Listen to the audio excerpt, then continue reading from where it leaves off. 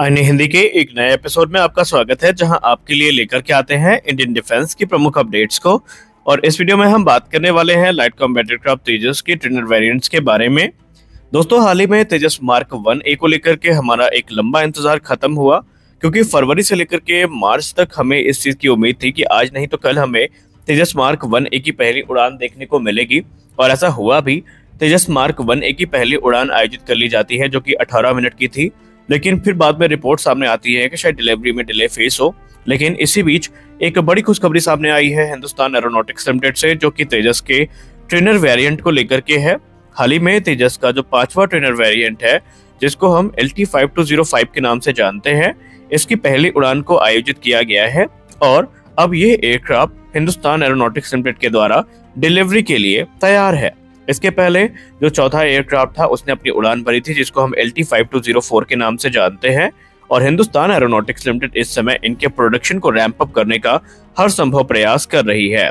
भारतीय वायुसेना को जो पहला तेजस ट्रेनर एयरक्राफ्ट था, ये अक्टूबर 2023 में मिला था, और ये पायलट ट्रेनिंग के लिए काफ़ी ज़्यादा महत्वपूर्ण है। इसका इस्तेमाल न सिर्फ़ पायलट ट्रेनिंग के लिए किया जाएगा बल्कि किसी भी विषम परिस्थिति में ये सिम उसी कैपेबिलिटी के साथ युद्ध कर सकेगा, जो कि तेजस मार्क वन के पास है।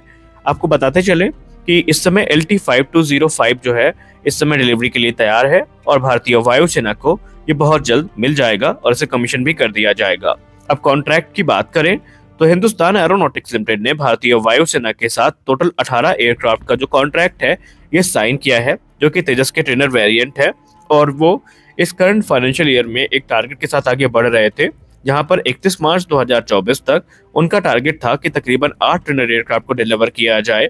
हालाँकि, करंट स्टेटस का इंतज़ार हमें है, लेकिन उनका ये कहना है कि 2026 से 27 तक सभी जो एयरक्राफ्ट हैं, ये डिलीवर कर दिए जाएँगे। ये एयरक्राफ्ट हमारे लिए काफ़ी ज़्यादा इंपॉर्टेंट है, क्योंकि तेजस ट्रेनर का इस्तेमाल न सिर्फ़ तेजस प्रोग्राम में ट्रेनिंग के लिए किया जाएगा, बल्कि आने वाले भविष्य में जो तेजस मार्क टू और एमका जैसे प्रोग्राम है उनमें भी ये एक महत्वपूर्ण भूमिका रखेंगे, क्योंकि इनके इस्तेमाल से जो हमारे नए पायलट्स हैं, इनको ट्रेन किया जाएगा, ताकि वो इस एयरक्राफ्ट के बारे में बारीक से बारीक जो जानकारियाँ हैं, उसको प्राप्त कर सके और भविष्य में किसी भी प्रकार की दिक्कत ना हो। हिंदुस्तान एरोनॉटिक्स लिमिटेड की प्रोडक्शन कैपेसिटी की बात करें तो इस समय जो नासिक की प्रोडक्शन लाइन है, वो लगभग बन के तैयार हो रही है, जहाँ पर तेजस एयरक्राफ्ट का प्रोडक्शन किया जाएगा और इनिशियली 2026 तक टारगेट ये होगा कि 16 एयरक्राफ्ट प्रति वर्ष की दर तक बनाए जाए। बाद में इनका संख्या जो है, वो 24 एयरक्राफ्ट प्रति वर्ष की दर तक पहुंचेगी, जिससे कि डिलीवरी है, वो फास्ट होगी और भारतीय वायुसेना में अधिक, कम से कम संख्या में अधिक सॉरी कम से कम समय में अधिक से अधिक संख्या में ये जो एयरक्राफ्ट है, वो डिलीवर किए जा सके। रिपोर्ट्स ये भी सजेस्ट करती हैं कि बीतते समय के साथ इनको जो प्रॉपर अपग्रेड्स हैं, ये मिलते रहेंगे और इन्हें near mark one A standard का एयरक्राफ्ट बनाकर सामने रखा जाएगा। जैसे कि हम लोग तेजस मार्क वन ए में जानते हैं कि बहुत सारी मेजर मॉडिफिकेशंस की गई हैं, काफ़ी अपग्रेड किए गए हैं, जिसके बाद ये तेजस का सबसे पावरफुल वेरिएंट बन चुका है और हाल ही में जब तेजस मार्क वन ए की पहली उड़ान आयोजित करी गई थी तो ये एयरक्राफ्ट हमें काफ़ी बड़े बदलाव के साथ भी देखने को मिला था। और ये एयरक्राफ्ट उन तिरासी Tejas mark one A jet का हिस्सा है, जिनका कॉन्ट्रैक्ट 2021 में हिंदुस्तान एरोनॉटिक्स लिमिटेड और भारतीय वायुसेना के बीच में साइन किया गया था। अब अगर हम तेजस के इस एयरक्राफ्ट की बात करें वेरिएंट की बात करें, यानी मार्क वन ए की बात करें, और अगर हम इस तेजस के टेल नंबर की बात करें तो इसका टेल नंबर था L A five zero three three जो कि पहला तेजस मार्क वन ए है। और उसमें बहुत सारी इंप्रूवमेंट्स हमें देखी गई। सबसे बड़ा जो विजिबल डिफरेंस था, वो था एयरक्राफ्ट की कैनोपी जहाँ पर तेजस मार्क वन ए की जो कैनोपी है, ये मार्क वन की तुलना में ज़्यादा राउंडेड है, और जो केबिन स्पेस है, ये काफ़ी स्पेशियस नज़र आ रहा है, यानी पायलट को बैठने में किसी प्रकार की दिक्कत का सामना वहाँ पर नहीं करना पड़ेगा, और जो सिचुएशनल अवेयरनेस है, ये काफ़ी ज़्यादा अच्छी वहाँ पर होने वाली है। एक्सपर्ट्स ये मानते हैं कि स्पेशियस केबिन के अपने बेनिफिट्स हैं, जहाँ पर पायलट को बहुत ज़्यादा इसका जो कह सकते हैं फ़ायदा है, वो देखने को मिलने वाला है। दूसरा बड़ा जो बदलाव हमें देखने को मिला था, वो था रेडार वार्निंग रिसीवर का। जी हाँ जो forward looking radar warning receiver है, जैसा कि हम लोग तेजस मार्क वन में देखते थे कि जो वर्टिकल फिन स्टेबलाइजर है, वहाँ पर हमें देखने को मिल जाते थे, लेकिन मार्क वन ए में ऐसा नहीं है। मार्क वन ए में इनकी जो पोजीशन है, उसको चेंज किया गया है, और ये जो रेडार वार्निंग रिसीवर है, ये आपको विंग टिप्स में देखने को मिलेंगे, यानी वहाँ पर इनको मूव कर दिया गया है। तीसरा जो बड़ा बदलाव आपको देखने को मिलेगा, वो होगा दो एंटीना जो है, जो कि आपको बेसिकली एयरक्राफ्ट के वर्टिकल फिन स्टेबलाइजर के पास देखने को मिलेंगे, जिनको लेकर के ये कहा जाता है कि ये सॉफ्टवेयर डिफाइंड रेडियोज हैं, जिन्हें बालाकोट स्ट्राइक के तुरंत बाद खरीदा गया था और भारतीय वायुसेना ने ये डिसाइड किया था कि ये जो सॉफ्टवेयर डिफाइंड रेडियोज हैं, इन्हें अपने फाइटर एयरक्राफ्ट की जो फ्लीट है, इसमें इंटीग्रेट करेंगे। और उस समय तकरीबन इमरजेंसी परचेज के अंतर्गत 400 की संख्या में जो बीनेट सॉफ्टवेयर डिफाइंड रेडियोज हैं इनकी खरीद इसराइल से की गई थी। उद्देश्य ये था कि मिराज 2000, मिग 29 और सुखोई 30 एम में इनका इस्तेमाल किया जाए लेकिन बाद में भारतीय वायुसेना ने अपने जो लाइट कॉम्बैट एयरक्राफ्ट तेजस की फ्लीट है उसमें भी इनका इस्तेमाल किया है ताकि जो सिक्योर नेटवर्क सेंट्रिक ऑपरेशन है, उसमें ये मदद कर सकें।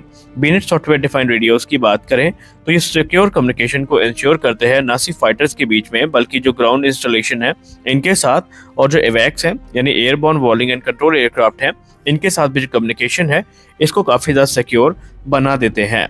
एक और बड़ा नोटिसबल फीचर जो हमें देखने को मिला है, वो है वीएचएफ और यूएचएफ एंटीना की प्लेसमेंट अगर आप मार्क वन की बात करें तो इन्हें लैंडिंग गियर्स के बाद में प्लेस किया गया था, लेकिन मार्क वन ए स्टैंडर्ड में जो वीएचएफ और यूएचएफ एंटीना है, इन्हें लैंडिंग गियर के पहले प्लेस कर दिया गया है। तो इनके भी स्थिति में या इनके भी प्लेसमेंट में एक बड़ा बदलाव हमें देखने को मिला है। और सबसे इम्पोर्टेंट चीज़ जो इस एयरक्राफ्ट में होने वाली है, वो होने वाली है इसका पावरफुल रेडार हालाँकि इनिशियल जो वेरिएंट है तेजस मार्क वन ए के, ये हमें इसराइल के इल्टा ए जो रेडार है, खासकर 2052 ऐसा रेडार इनसे इक्विप होकर के आते दिखाई पड़ेंगे। लेकिन बाद के जो वेरिएंट हैं, इनमें स्वदेश निर्मित उत्तम ऐसा रेडार का इस्तेमाल किया जाएगा, जिससे कि इनकी ओवरऑल कैपेबिलिटी काफ़ी ज़्यादा इन्हेंस हो जाएगी। और अगर हम हथियारों की बात करें तो ये लगभग स्वदेश निर्मित सारे हथियारों को कैरी कर सकेंगे, जिसमें अस्त्र मार्क वन मिसाइल शामिल है, जो कि स्वदेशी बीवीआर मिसाइल है, जो कि 110 किलोमीटर तक मारक क्षमता के साथ आती है। दूसरी मिसाइल है अस्त्र मार्क टू, जो कि 160 किलोमीटर तक मार करने में सक्षम है। और तीसरी मिसाइल है अस्त्र मार्क थ्री, जो कि 300 किलोमीटर से ज़्यादा दूरी तक मार करने में सक्षम होने वाली है। तो ये एयरक्राफ्ट इन सभी मिसाइल से इक्विप होकर के आएगा। वहीं इसमें जो रुद्रम एंटी रेडिएशन मिसाइल है, खासकर रुद्रम वन और रुद्रम टू, ये देखने को मिलेंगी। जिससे कि इनकी कैपेबिलिटी काफ़ी इनहेंस हो जाएगी। रुद्रम टू की बात करें तो इसे as a air to surface missile भी इस्तेमाल किया जा सकेगा और इसे as a anti radiation missile भी इस्तेमाल किया जा सकेगा। और ये हाइपरसोनिक स्पीड पे जाकर के जो एनिमी टारगेट है इनको डिस्ट्रॉय करने की कैपेबिलिटी के साथ में देखने को मिलने वाली है। तब अगर हम ब्रह्मोस एनजी की बात करें तो ब्रह्मोस एनजी को लेकर के मीडिया रिपोर्ट्स में ये कहा जा रहा है कि ये मिसाइल भी अपने डेवलपमेंटल ट्रायल्स की शुरुआत 2026 में करेगी और इनका इस्तेमाल भी तेजस मार्क वन ए में होता दिखाई पड़ेगा। तो ओवरऑल ये एयरक्राफ्ट बहुत ज़्यादा कैपेबल होने वाला है। तो आज के इस वीडियो में बस इतना ही। हम आशा करते हैं ये वीडियो आपको अच्छा लगा होगा। वीडियो अच्छा लगा तो वीडियो को लाइक करिए। नए हैं तो चैनल को सब्सक्राइब करिए, क्योंकि हम आपके लिए इसी प्रकार के जो अपडेट्स हैं, इनको लेकर के आते रहते हैं। तो मिलते हैं अपने अगले वीडियो में, तब तक के लिए जय हिंद।